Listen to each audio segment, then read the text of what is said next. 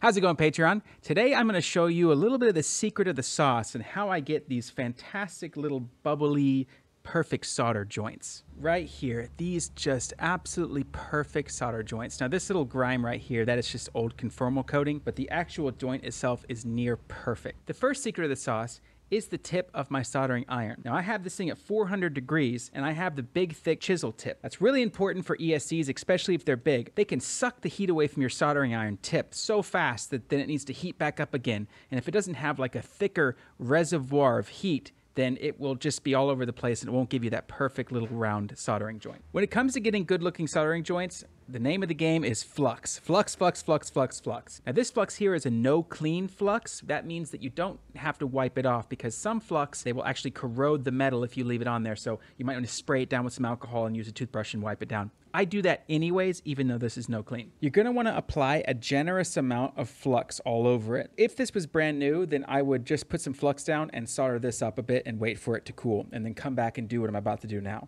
That's pretty standard, but the secret is once it's cool and you get a decent enough bubble, come back with some flux on top and feed it. And as you're feeding it, you're lifting up your solder and you kind of just separate it. The reason why as you're feeding it, you're lifting up, and that's to create that bubble and give it space, and then pull it off, and then bloop, there comes a nice perfect bubble.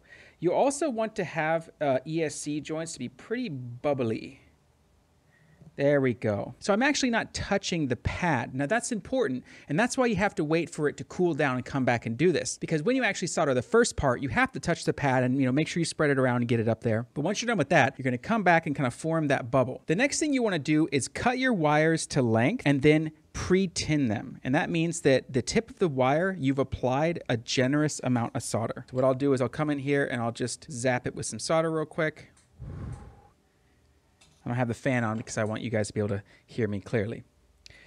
And I'll just pre-tin these wire tips. Now, once you're done pre-tinning your wires, you're gonna go ahead and apply a little bit more flux. This stuff is essential for getting good looking, strong solder joints because it's gonna let that solder flow freely.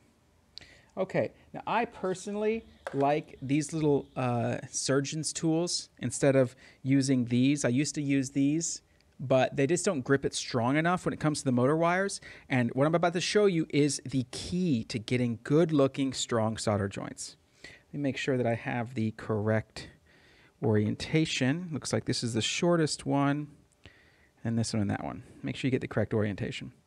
So you're gonna grab your wire and what you wanna do is make sure that you have it in place and you're steady. Basically, I want to not have to move this at all. If you're having to bend and twist this wire, it's going to screw everything up because what you want to do is heat up that bubble, slide this in just ever so gently, and then pull the heat off and not move an inch, and that's going to give you this wonderful bubble.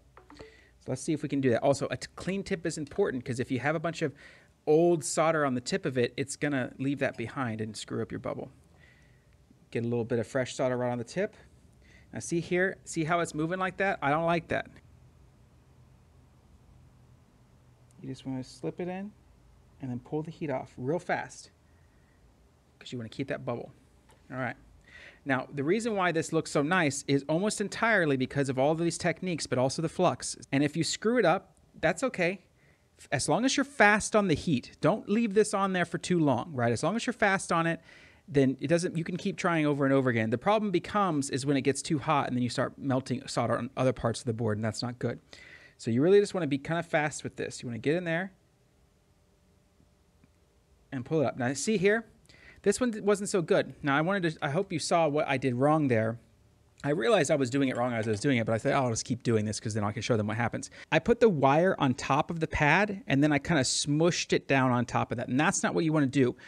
The bubble, you heat the bubble and you kind of slide the wire up in there. It's kind of a, a finesse thing and you should be practicing it. But don't put the wire on top and then smush down the wire uh, onto the pad because that's going to give you a really ugly result, which it did. Now to fix this, you're going to get some more flux.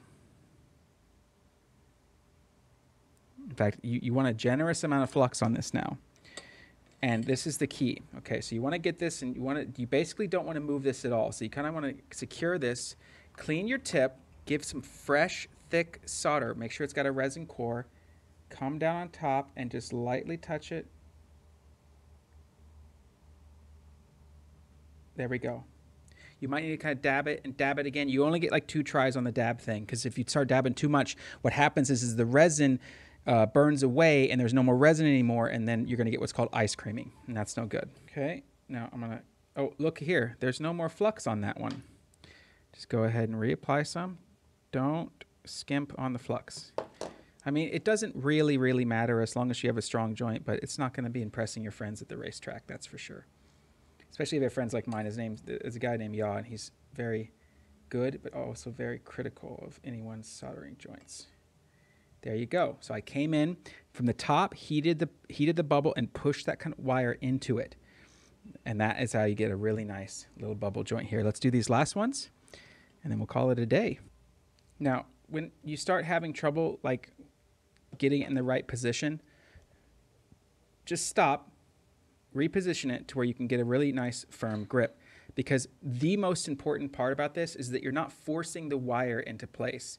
You want to kind of pre-bend the wire so that it just slides right in because you want to slide it in with no friction at all. You don't want anything bending the wire as you slide it in. So here we go. We're heating it up. Slide it in. Boom. You can do a little flick towards the shielded part of the wire, and I found that kind of helps because that ice cream that would happen kind of rubs up against that shielding of the wire, and then it, uh, you know, it doesn't it doesn't ice cream out so much. Okay, here we go. Get this nice and ready. Boom. Look at that, looking great. Okay. Last